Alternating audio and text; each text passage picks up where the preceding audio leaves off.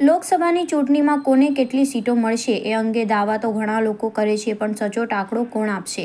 જવાબ છે ઈવીએમ ત્યારે ભરૂચની કેજી પોલિટેકનિક કોલેજના સ્ટ્રોંગ રૂમમાં રાખવામાં આવેલ ઈવીએમ બરાબર સાચવાય છે કે નહીં તે જોવા માટે રાજકીય પક્ષના કાર્યકરો નજર રાખી રહ્યા છે. આગામી ચાર જૂનના સુધી ઈવીએમ બરાબર સાચવાય છે કે નહીં તે જોવા માટે કોંગ્રેસ અને આમ આદમી પાર્ટીએ ખાસ રણનીતિ ઘડી છે. જે બેઠકો આપ કોંગ્રેસ જીતી શકે છે તેવી બેઠકોના ઈવીએમ જ્યાં રાખવામાં આવ્યા છે ત્યાં દિવસ રાત ચોવીસ કલાક નજર રાખવામાં આવી રહી છે. જેમ કોઈ કોર્પોરેટ ઓફિસમાં શિફ્ટમાં કર્મચારીઓ કામ કરે છે, તેવી જ રીતે રાજકીય પક્ષોના કાર્યકરો ડ્યુટી પર લાગી ગયા છે. હાલમાં ભરૂચ લોકસભાના ઈવીએમ મશીન પોલિટેકનિક કોલેજમાં સ્ટ્રોંગ રૂમમાં અર્ધલશ્કરી દળો સહિત સુરક્ષા ટીમોના બંદોબસ્ત અને સીસીટીવી કેમેરાથી સજ્જ સ્ટ્રોંગ રૂમમાં મૂકવામાં આવ્યા છે, જ્યાં લિમિટેડ એરિયામાં કોઈને એક્સેસ નથી.